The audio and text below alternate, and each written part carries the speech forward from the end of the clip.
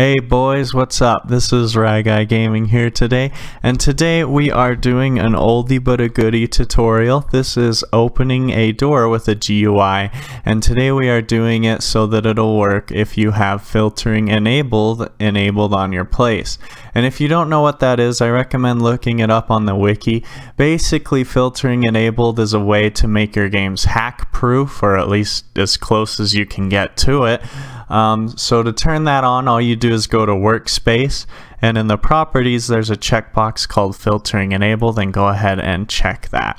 Now, one thing about it is if you haven't noticed already, turning that on will break a lot of your scripts. And the reason that is, is because it basically severs um, almost all client server communication. And uh, if that's confusing, don't worry about it. Um, hopefully this video will help you make more sense of that. Because really the only way to get to understand this concept is to use it.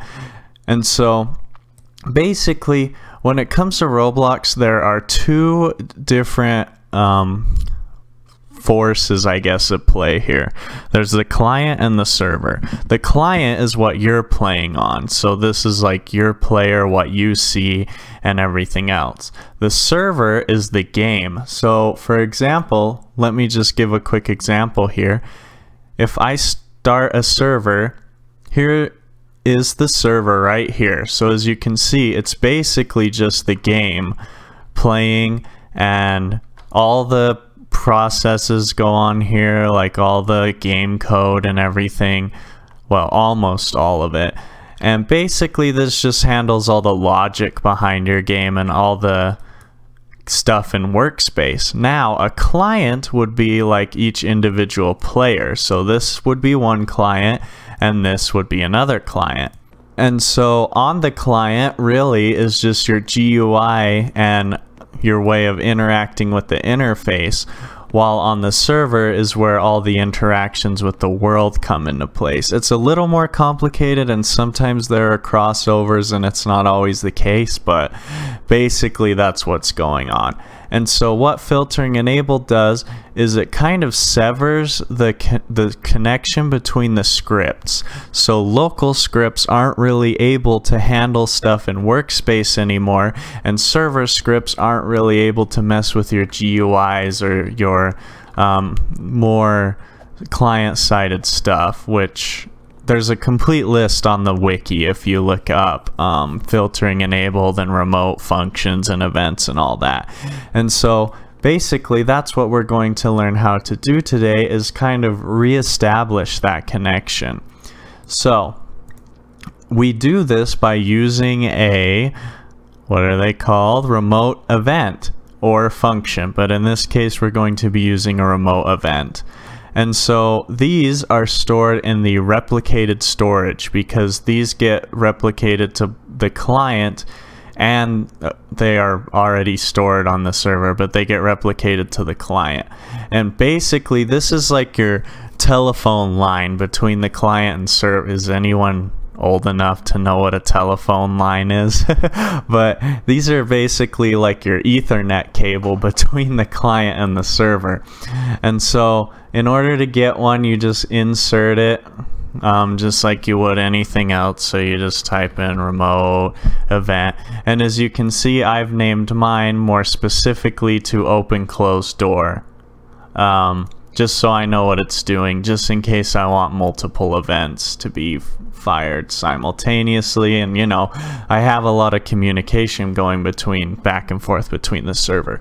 Now if I did not have it set up this way what would happen is I could still manipulate stuff. So for example like today we're gonna be learning how to open and close this door I could still open and close this door from the client so it would look like it worked however if I had it without this um, remote event working in between, what would happen is when I was on my one player here, so I'm player one right now, I think. Yeah, when I would click the open door button, I would see it open just like normal. When I click close, it would close. The problem is player two over here and the everyone else playing wouldn't be able to see that. I can see it right now because I set it up good. But any changes made from a local script on a client will only take place on that client and not on the server. So other players will not be able to see you interacting with the world. And so that's why you need that connection between the two. And with all that, now we can go ahead and jump into the script. Sorry I had to give such a detailed explanation. It's just that this might be some people's first time for a lot of this. And I want to make sure I'm thorough. And don't worry if you don't get it. There will be a lot more tutorials to come. We will be going over a lot of this with different tutorials and stuff. So, what we're going to first look at is the script inside of the door that handles the opening and closing. So inside of your door, you're going to want to put a script. And what this script does is it basically handles all the manipulations on the door. So it handles the opening and the closing. Well, I guess it would be the opening and the closing. so what you're first going to need to do is get the replicated service storage. You don't have to put this in a variable, it's just easier. And then you're going to need to get your event and you can store that in a variable. Again, you don't have to, but it's just, it makes more sense if you do. And so what I'm doing, I get the replicated service storage by using get service and then I get the event by finding the child open close door or whatever you happen to name your event. And then I get the door, which is just the script's parent for convenience. Now, I have to use a event here called on server event. And what this does is whenever the client fires to the server using this event, this is called. And so this function will be called. And we are passing in two parameters here, the player, which is always passed in when you fire an event from a client, and then anything else after that is whatever, like any kind of user-defined parameters. And so in this one, let me hop to a button now so this makes a little more sense you can see here I do almost the same thing. I get the storage, I get the event, and then when the GUI is clicked using this event, so the script.parent.mouse button one down, this handles when the GUI is clicked. It fires the server and passes in a string that says open because this is the open button we're firing from. And similarly, in the close door script, we pass in a string that says close. Now, there are other ways to do this, but this is just the way that I wanted to do it, and it makes sense to me, and hopefully it makes sense to you. So this way we know what button is being pressed. So now, when the server hears that it's being called from the client, it will perform these actions. And so what it does is it takes the player, which we actually don't do anything with. We just have to store it so that the ordering is all correct and everything.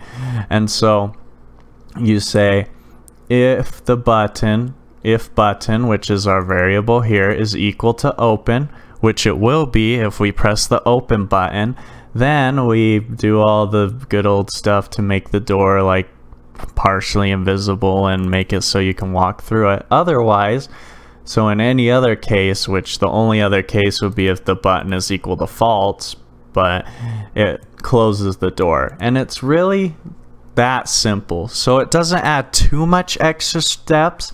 It is a little annoying that you have to use a script and a local script to handle all this when normally you could just use two local scripts but it does make your game hack proof in other instances as you'll see when we get to like especially um, shop GUIs there, there it comes in really handy when you're doing shop GUIs and stuff of that nature where you're working with like player data um, but yeah, hopefully this made sense. If not, just subscribe and stay tuned and we'll go over this a lot.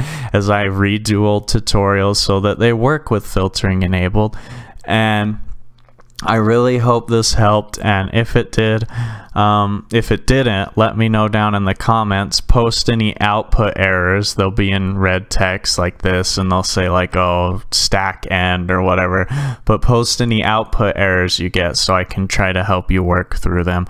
Um, and I hope you guys have a great rest of the day. I hope this video was informative. Don't forget to subscribe for future tutorials, and I will see you guys later. Goodbye.